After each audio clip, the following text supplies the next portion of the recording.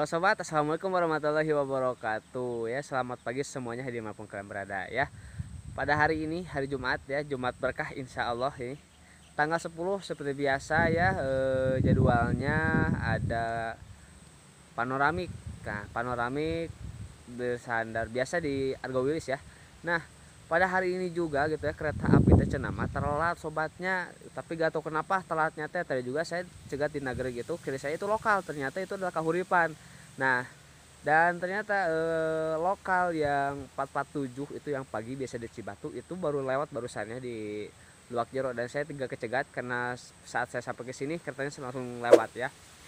Nah saya memutuskan di sini untuk cegat kereta api Lodaya dan juga mungkin nanti ada lokal antara lokal dulu atau Lodaya dulu lah ya eh, dari arah timur nih. Tapi tadi sinyal saya ngeliatnya kayak ngacung ya sinyal masuk stasiun Lebak Jero dari arah ah, dari arah Leles. Oke sobat ya, saya kenapa pengen hunting di sini dulu karena eh, view pemandangannya sekarang itu sangat mantap sekali sobat ya. Eh, langit langitnya terlihat sangat biru sekali dan juga pemandangan gunung yang ada di Lebak Jero ya. Oke, kita lihat ya pesona alam Lebak Jero dengan kereta api melintas sobat. Mantul. Tonton videonya sampai selesai.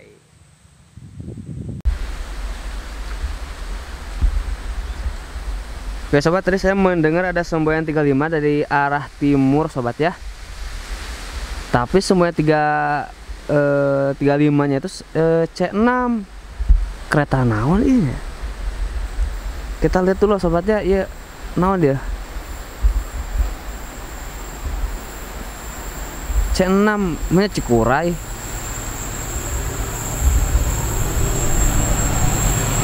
Ya itu ada C6 tapi apa nih kata apa nih? Oh parcel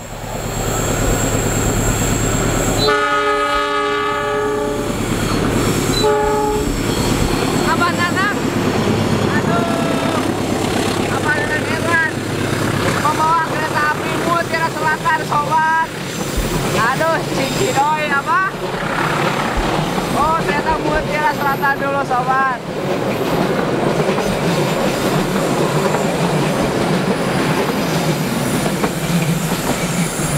Ternyata ini adalah kereta api Mutiara Selatan yang dibawa oleh Abah Nang Erlan sobat. Ya mantul. Atau nuhun Abah sapa ana. Aduh telat abi nyapananya. Tengah. Abuntan Abah. Atau nuhun. Cikidoy Abah Cikidoy kiri saya ini adalah lokal sobat ya. Ternyata ini adalah kereta api Mutiara Selatan. Telat ya mutsal aduh. Oh nama ternyata lo- yang tadi itu udah Lodaya sobat ya. Eh Malabar Malabar. Karena di depan Mutiara Selatan itu ada Malabar. Wah bener ya. Kereta pada hari ini Jumat ya. Telat pada telat nih. Biasanya ini Mutsal biasanya jam segini itu udah langsir loknya itu ya di Bandung ya guys. Sekarang baru sampai baru sampai Lebak Jero Oke sahabatnya kita menu kereta api yang selanjutnya. Oke sobat mangrove ini dia, ini dia ya kereta api Lodaya. Ya, tadi kereta api Lodaya tertahan lama ya di stasiun Nagri karena antrian keretanya sangat banyak sekali sobat ya. Oke ini dia kereta api terakhir itu ada kereta api Lodaya di hunting kali ini saya di Lebak Jero sobat ya. Maka disimak eh, kameranya tidak akan saya moving ya tidak akan berjalan. Eh, kita lihat saja lah jadi kereta nanti kereta api melintas dan juga di belakangnya dengan background pemandangan yang sangat mantap sekali sobat ya. Maka disimak kereta api Lodaya sobat